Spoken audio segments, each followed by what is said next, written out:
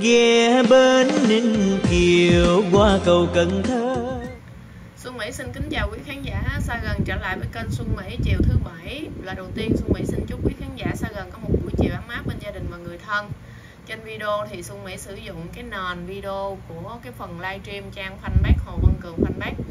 À, show diễn ngày à, mùng 5 Tết vừa rồi tại Mây Lang Thang Đà Nẵng nha cả nhà à, với khách mời là thầy Trí trên màn hình là thầy Trí đang trình diễn bài Mưa Phi Trường. Như thường lệ Xuân Mỹ sẽ vào kênh YouTube. À, Hồ Văn Cường để cả nhà nhớ là có làm gì thì cũng quay trở lại kênh YouTube Hồ Văn Cường 166.000 người đăng ký nè. Ha 166.000 người đăng ký để uh, ủng hộ cổ gò công ha. Rồi chúng ta thích nghe nhạc bài nào thì chúng ta nghe. Đây có những cái bài cung đàn thương nhớ lên một triệu mốt rồi đó. À, rồi ơi đừng bỏ quê hay là đây? Miền tây quê tôi. Bữa nay á, thời tiết nó có vẻ thay đổi ở chỗ cần thơ xuân mỹ có mưa cũng mưa. Và nãy giờ mưa lâm râm cả nhà nó làm cho mũi của mình cũng ờ, báo hiệu rồi. Xuân mỹ thì bị viêm mũi cho nên cái mũi nó hay. Nè bài mẹ tôi nè xuân mỹ hay nghe bài mẹ tôi lắm cả nhà. Giờ một triệu sáu lượt đó. Rồi rất mong mọi người ủng hộ ha. Và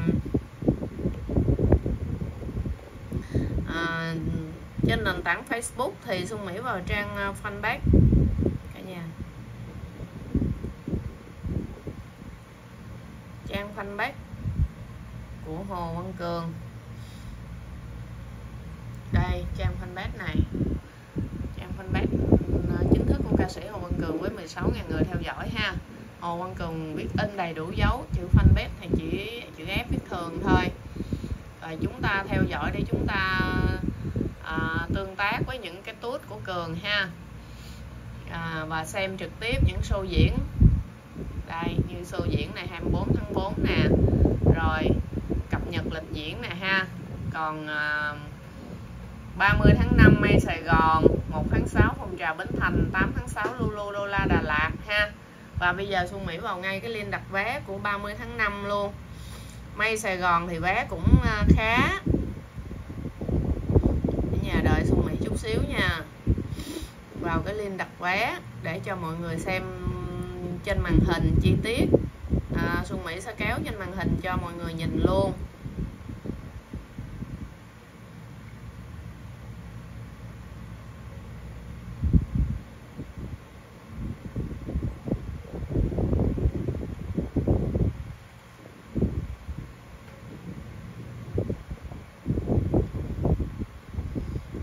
Cường hát rất là hay đây chúng ta sẽ gặp hai thầy trò trở lại ở tại May Sài Gòn ha. Đây Hồ Văn Cường à, Lý Minh Trí cung đàn thương nhớ. Này là poster trên liên đặt vé của May nè. Đấy chủ đề cung đàn thương nhớ ha. Nhà văn hóa thanh niên số 4 Phạm Ngọc Thạch 20 giờ 20 giờ đến 22 giờ 30 ngày 30 tháng 5 ha. Thì à, còn ba loại vé một triệu hai chín trăm rưỡi và bảy trăm rưỡi nha cả nhà. 100 thì đã hết từ lâu rồi ha. Đây là sơ đồ ghế ở trong à, nhà văn hóa thanh niên nè. Cả nhà nhìn thấy ha sân khấu rất, rất là đẹp luôn. Rồi đây là cái sơ đồ vé sơ đồ vé của nhà văn hóa thanh niên ha. Rồi đây. Cả nhà thấy không? Để xuân mỹ à, tua nhỏ lại nha zoom nhỏ lại nha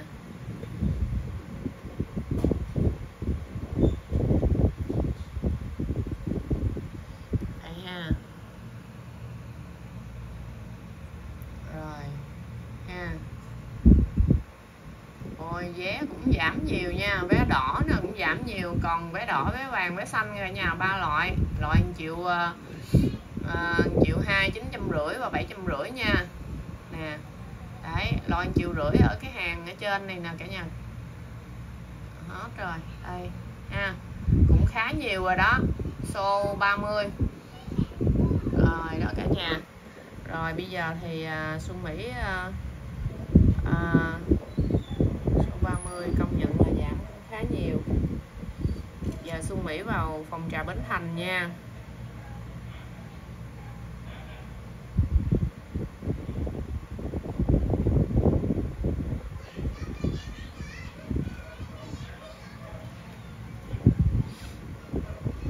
Phòng trà Bến Thành đây.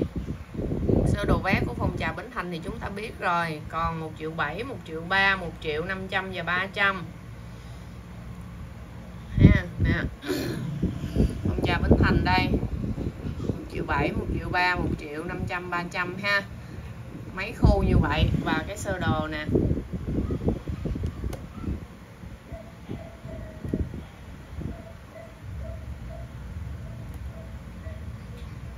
Sơ đồ vé của phòng trà Bến Thành đây. Ai đi xem của phòng trà Bến Thành thì biết rồi ha nó có một cái uh, trên lầu. Thì uh, khu Bến Thành nè. Khu Bến Thành là ở giữa này là một triệu bảy nè rồi. Tân Định. Một triệu ba ha.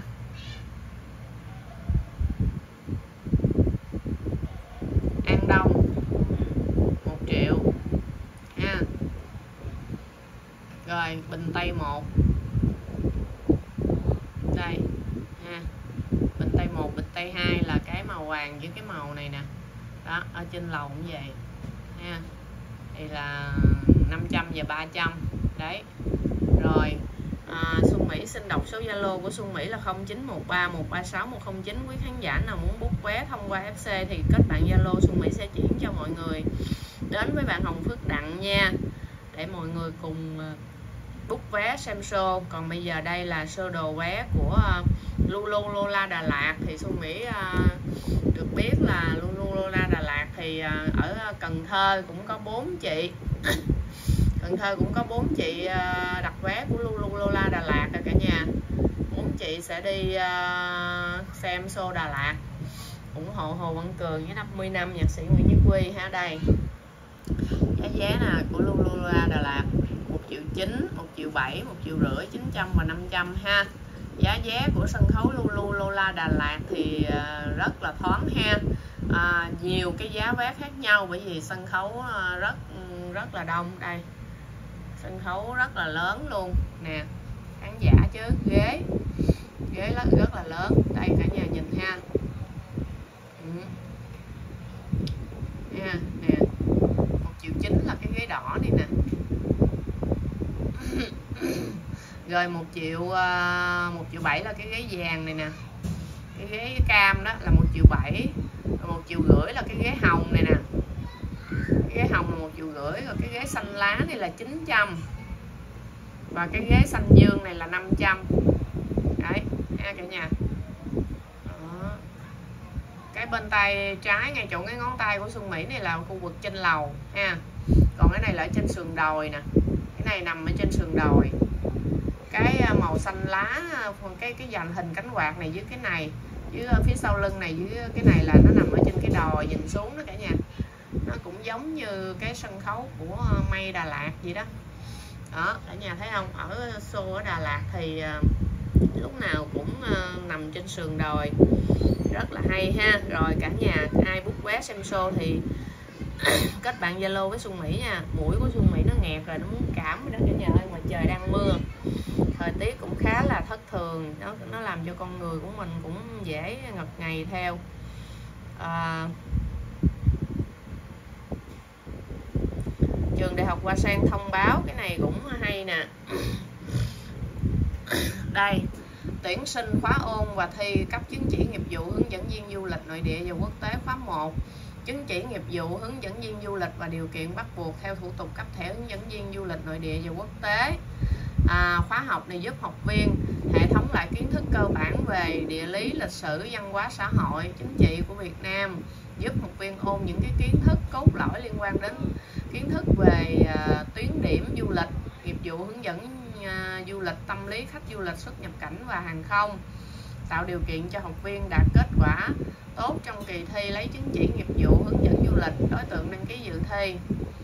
Chứng chỉ nghiệp vụ hướng dẫn du lịch nội địa học viên tốt nghiệp từ trung cấp trở lên thuộc tất cả các chuyên ngành từ chuyên ngành hướng dẫn viên du lịch chứng chỉ nghiệp vụ hướng dẫn du lịch quốc tế học viên tốt nghiệp từ cao đẳng trở lên tất cả các chuyên ngành trừ chuyên ngành hướng dẫn viên du lịch.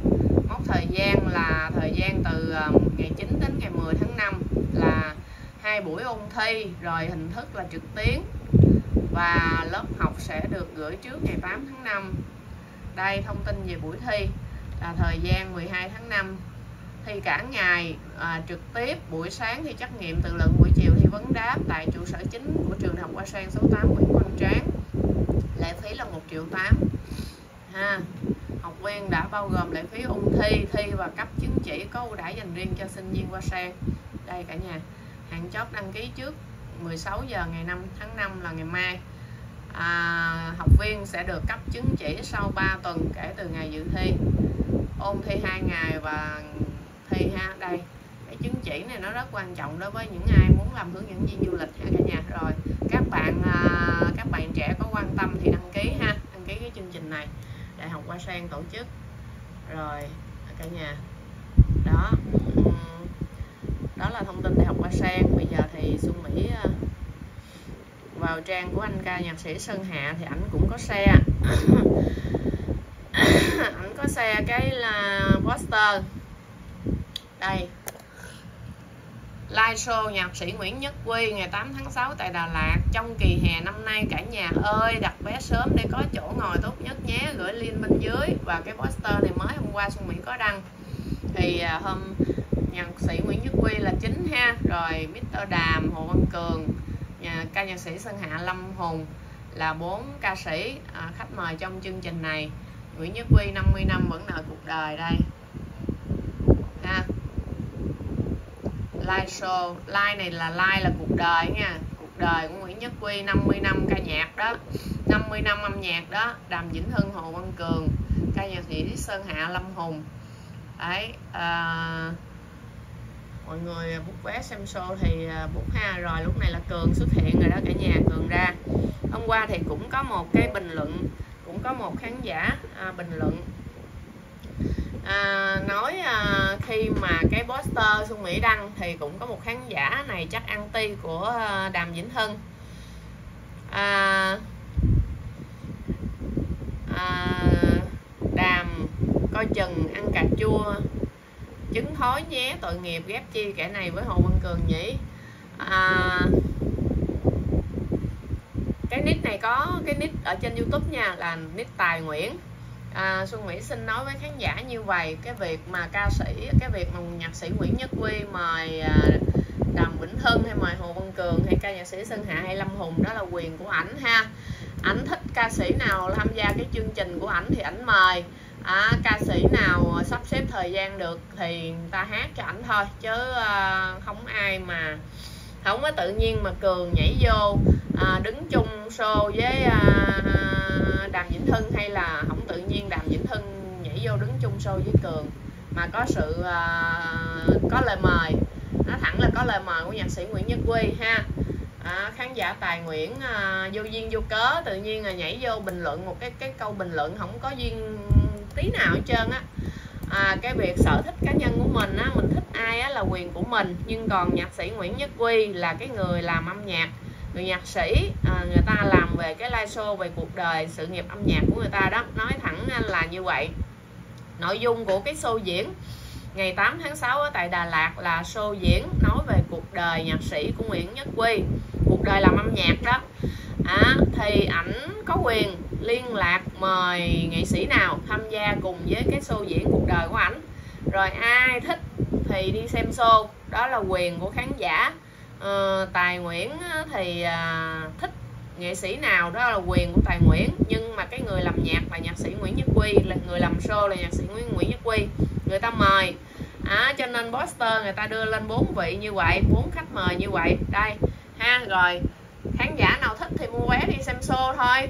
Đúng không cả nhà? Xuân mỹ nói đúng không? À, mình vô đó mình à, dùng lời lẽ từ ngữ mình mặc sát người ta cũng không có làm cho mình đó là không có làm cho người ta đồng quan điểm với mình là à, thích ai ghét ai được mà ở đây cái sự lựa chọn show ca nhạc đi xem ca nhạc là quyền của khán giả.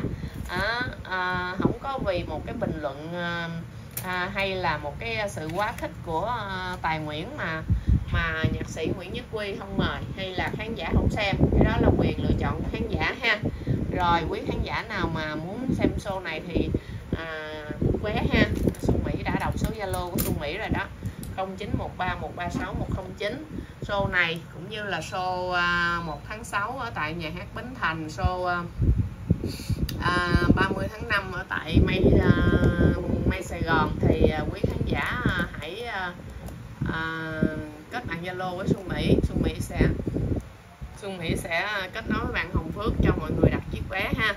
Giờ Xuân Mỹ vào trang Hồ Văn Cường Fan Club à, hôm qua thì Xuân Mỹ cũng chia sẻ với cả nhà là S Entertainment đã đưa cái à, shot hình lên trên này hình nhiều dữ lắm. Xuân Mỹ cũng thấy nhiều khán giả đã tải về tải về. Hình quá trời hình luôn hình rất là đẹp như cả nhà bởi vì là họ có đội ngũ chụp hình chuyên nghiệp.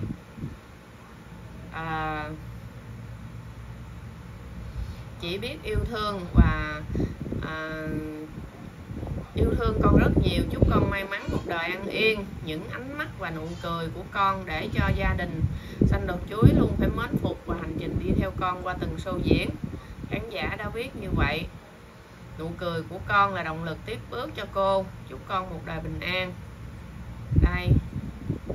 Khán giả cũng thấy cưng không cả nhà? Ôi, bữa đó show diễn 30 tháng 4 là cường là thấy cưng dữ lắm luôn. Đây ha rồi giao lưu với khán giả đưa micro cho khán giả hát.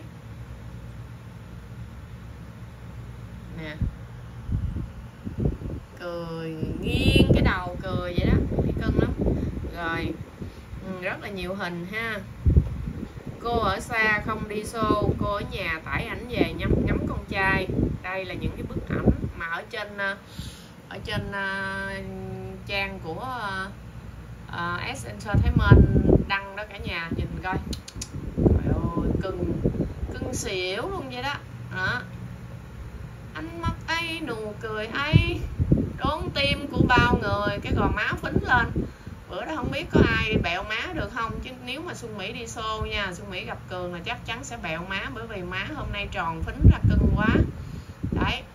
Rồi nha cả nhà đó là những cái hình ảnh à, rất là đẹp luôn. Cảm ơn bên uh, S Entertainment đã uh, tung lên một cái shot hình rất là cute phô mai que của Cường nha. Rồi à, cả nhà. Nè nhìn nè nhìn ánh mắt như con nai vàng ngơ ngác luôn nha cả nhà nhìn ha gương mặt rất là ngây thơ. À, giao lưu thì lém lĩnh duyên dáng lém lĩnh lắm nha. Nhiều shot hình rồi mọi người. Ai thích cái gì thì tải về ha. Ở đây Xuân Mỹ cũng thấy uh, fan của Cường cũng share trang ca nhạc sĩ Sơn Hạ nè nói về show 8 tháng 6 ha. À, ủng hộ nhạc sĩ Nguyễn Nhất Quy ha. Có một cô.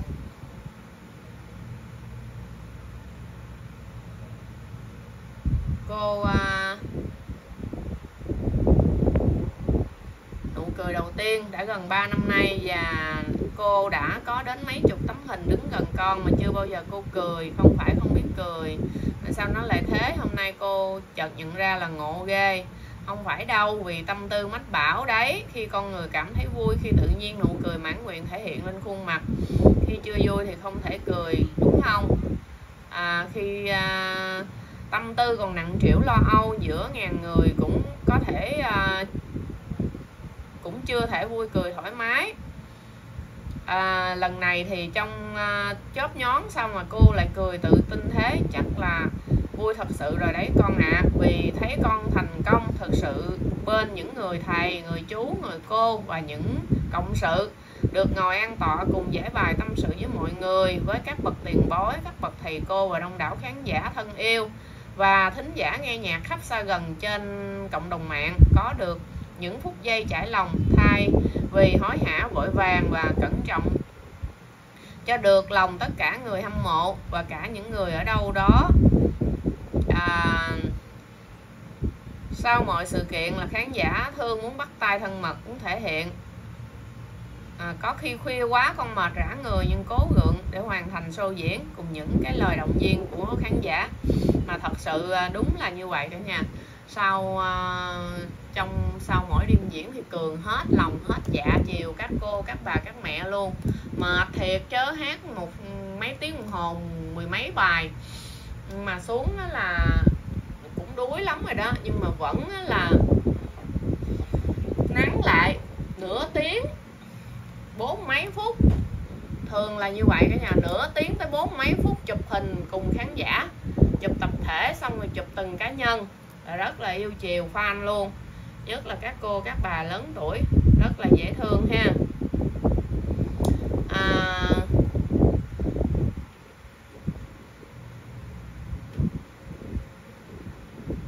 lúc mà chị Lan Nguyễn cũng bày tỏ lúc mà Lan mới tuổi 20 thì đã thích nghe nhạc của nhọc ca sĩ Ngọc Sơn.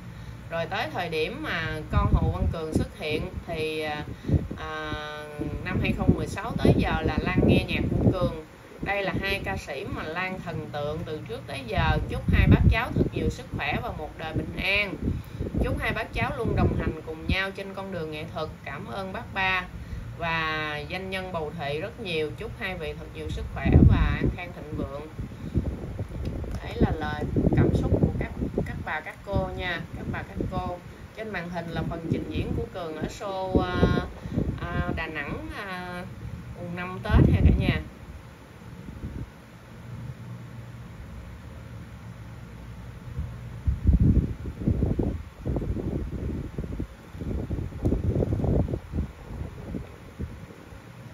Dễ thương nắm trai dễ thương cả nhà ơi đó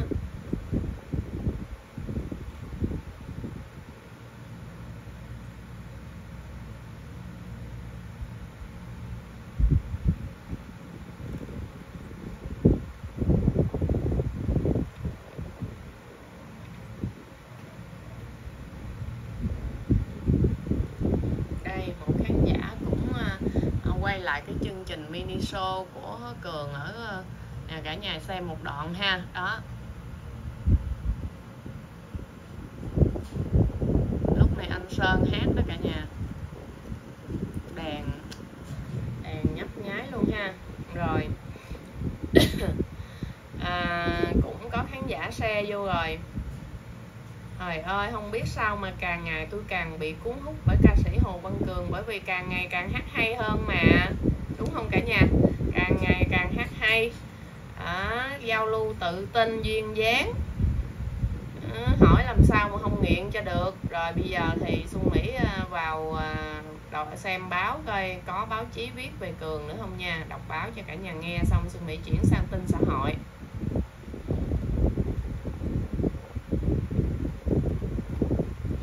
À, chưa có bài báo nào mới đó là thông tin mà Xuân Mỹ điểm qua chiều hôm nay liên quan đến à, à, rồi cả nhà biết ai không? Đây là phần của bà cụ ở Quảng Nam nè Quảng Nôm bà cụ tám lôm.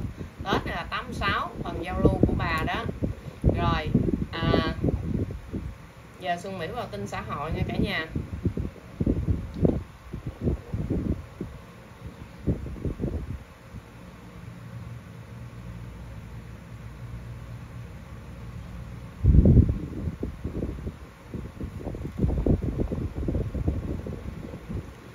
vụ tai nạn lao động ở Đồng Nai ngày 1 tháng 5 ờ, là cái vụ mà nổ lò hơi đó cả nhà. Làm 6 người đăng xuất đó thì công an tạm giữ khẩn cấp giám đốc. À, phó giám đốc công an tỉnh Đồng Nai cho biết ngay khi xảy ra vụ việc lãnh đạo công an đã trực tiếp đến hiện trường điều động các lực lượng để tham gia chữa cháy cứu nạn cứu hộ. Đồng thời phối hợp các cơ quan chức năng để đưa người bị thương đi cấp cứu khám nghiệm hiện trường và thực hiện một số nhiệm vụ điều tra ban đầu.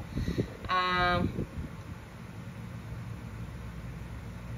theo thượng tá Nguyễn Mạnh Toàn đến nay cơ quan cảnh sát điều tra công an Đồng Nai đã ra lệnh tạm giữ người trong trường hợp khẩn cấp đối với ông Phan Dông, quốc tịch Trung Quốc là giám đốc công ty trách nhiệm hữu hạn thương mại và sản xuất gỗ Bình Minh gọi tắt là công ty gỗ Bình Minh và đang ra lệnh tạm quản xuất cảnh đối với 7 trường hợp là người nước ngoài để phục vụ cho công tác điều tra. Công ty do ông ờ, Phan Dông Trung Quốc tịch Trung Quốc làm giám đốc hoạt động trong lĩnh vực gia công chế biến đồ gỗ gia đình có khoảng 200 lao động. Riêng thời điểm xảy ra vụ tai nạn thì có khoảng 42 công nhân đang làm việc. Phía công ty lắp đặt nồi hơi dạng ống nước, công suất hơi là 1.000 kg trên một giờ. Ở bên ngoài cạnh vách tôn, xưởng bán thành phẩm. Trong quá trình sử dụng, công ty phát hiện có trục trặc về mặt kỹ thuật và đã liên hệ với đơn vị cung cấp thiết bị để kiểm tra, bảo dưỡng sửa chữa vào ngày 30 tháng 4 đến sáng 1 tháng 5 thì cán bộ kỹ thuật của công ty vào kiểm tra vận hành thì nồi hơi phát nổ làm 6 người đăng xuất 5 người bị thương. À, nhà thưởng xưởng thì bị hư hỏng 5 người bị thương đó là sức khỏe đã ổn định lại rồi cả nhà. Đấy à, đó là thông tin mới nhất vụ à, nổ lò hơi ở đồng nai ha. Như vậy là công an đã bắt khẩn cấp giám đốc. À, rồi tiếp theo.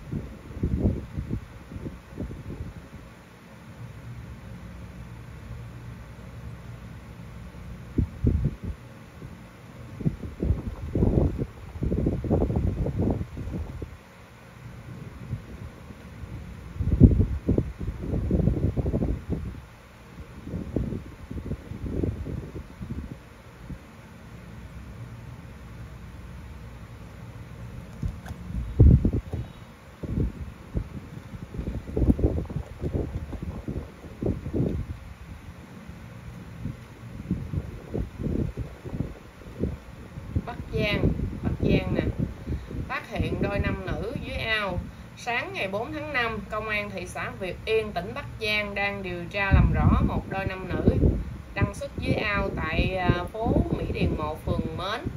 À, trước đó thì lực lượng công an nhận được tin báo của người dân ở phố Mỹ Điền, Mỹ Điền 1, phường Nến về việc phát hiện hai à, thi, thi thể một nam nữ trên ao nước sau khi cùng các cơ quan chức năng trục vớt à, thực hiện khám nghiệm hiện trường và tiến hành xác định danh tính nạn nhân là V D sinh năm 98 và nữ là HV sinh năm 2001 cùng chú ở Lạng Sơn.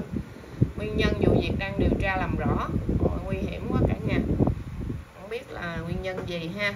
À, đó là thông tin xã hội mà Xuân Mỹ muốn gửi đến quý khán giả hôm nay. Thì một lần nữa Xuân Mỹ xin à, cảm ơn quý khán giả xa gần đã tin tưởng ủng hộ kênh Xuân Mỹ. Và ai chưa bấm đăng ký kênh thì bấm đăng ký kênh vẫn chuông thông báo để theo dõi những video tiếp theo của Xuân Mỹ nha nhớ là bấm like video cho Xuân Mỹ nha. Qua đây thì Xuân Mỹ cũng xin à, lưu ý mọi người hãy hạn chế à, tức là đừng có dùng những cái lời lẽ kích động mà bình luận những cái lời lẽ tiêu cực không hay khi mà Hồ Văn Cường tham gia những cái show diễn với nhiều các ca sĩ khác.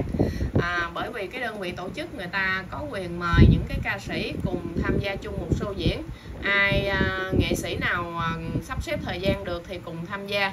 À, việc đó là việc bình thường trong giới giải trí ha à, chúng ta thích show nào thì chúng ta đi xem còn chúng ta không thích thì thôi chúng ta ở nhà chứ đừng có dùng những cái lời lẽ nặng nề bình luận tích cực không hay.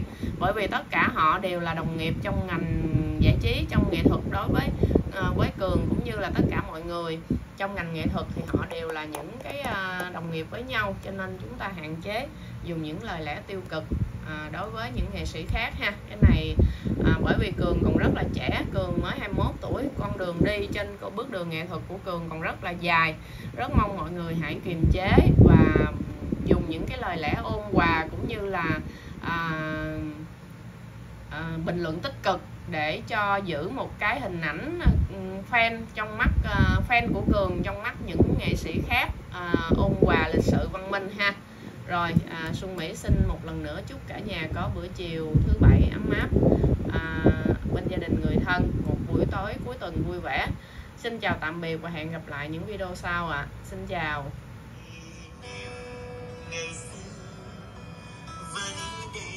nói sao cho vừa lá lìa cây mà cây đâu muốn cách xa đành ôm nỗi buồn, đành ôm vẫn vương.